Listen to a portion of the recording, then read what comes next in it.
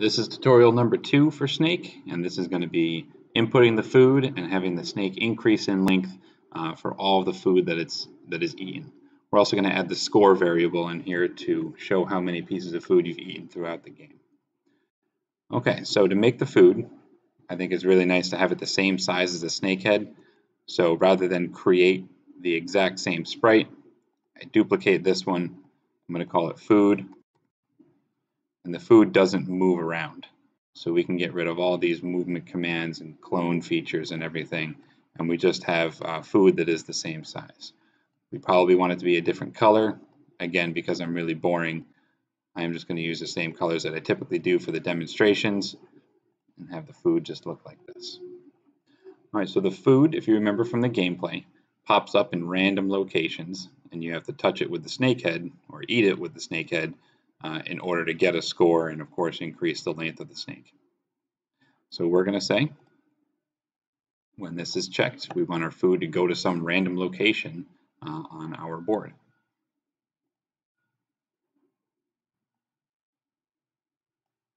So we'll use our x and y coordinates and we're going to use our operators to actually pick a random position for x and pick a random position for y.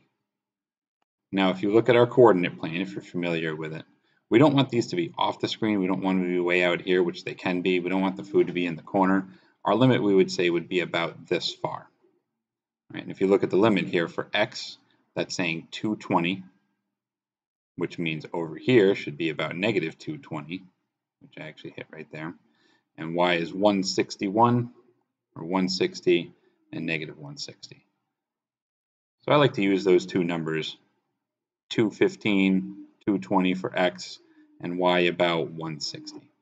So we can say pick random for our x is going to be negative 215, positive 215. positive And for our y, we're going to use negative 160 to positive 160.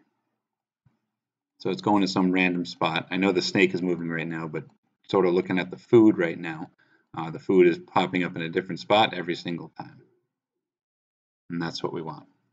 So after it goes to this random position, we are going to want to have this thing forever keep moving to a random position every time the snake head touches it. So we'll say if touching the snake head, then we want to move to a random position. Rather than type all those numbers in and hunt for all those commands, we're just going to duplicate.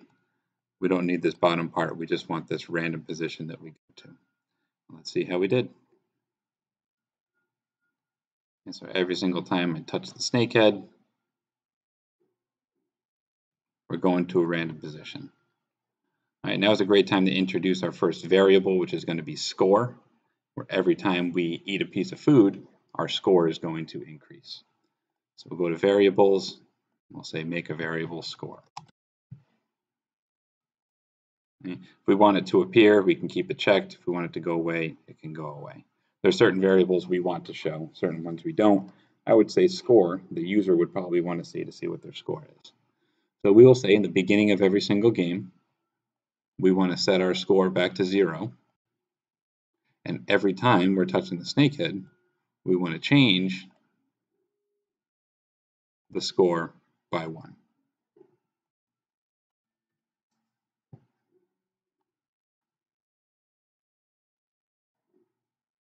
Right, which is happening here. All right, and when we reset, our score goes back to zero when we start a new game. Okay, now we're going to get into the point where every time we eat one of these pieces of food, our, our length of our snake has to increase a little bit.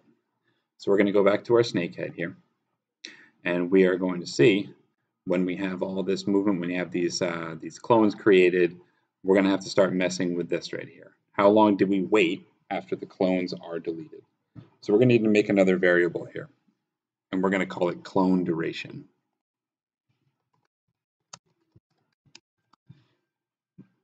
Right, clone duration or the length of time that our clones are going to stay on the screen before they're deleted. So we're going to bring our clone duration into here, and that's how long we want to wait. In the beginning of every game, we're going to set our clone duration. About one second is good.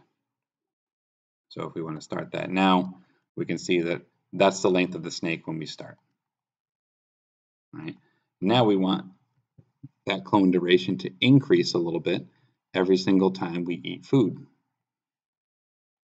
So when we go back to our food, we can say every single time we're touching the snake, we want to change our clone duration by one. We can say one for now. Why don't we make it two right now, just so we can have it very pronounced to see how it looks uh, with our code.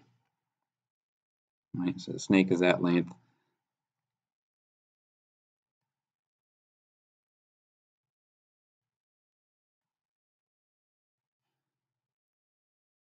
All right, now we're not increasing for some reason. That's because we put this under here where we said set clone duration to 1. We want to have that when the flag is checked. So the beginning of the game, we set our clone duration to 1, not when we start as clone. Right, you can see our snake getting bigger now when we eat food. All right, clone duration is at 7. And you can see it's getting bigger as we go along. All right, for what I believe one of the best numbers to use is to have our snake using or moving a little bit faster at 5 and our clone duration increase is the best at 0.3. If you want to have a more difficult game, game, you can change those numbers around a little bit, but overall, that's about what we want. All right, so whenever we're touching the snake head, we're going to increase by 0.3 if you want to make that a little bit more, say 0.3, just so it looks a little bit more pronounced. All right, then of course, when the game is restarted, our score goes back to zero and our clone duration goes back to one. Last thing we want to do is we don't really need to see the clone duration because we can see the, the snake getting bigger. So we can check that and have it go away to make it look like a little bit more clean screen for the gameplay. All right, the very last tutorial we have, Snake 3, We'll talk about losing the game when the uh, snake crashes into itself or when it crashes into a wall.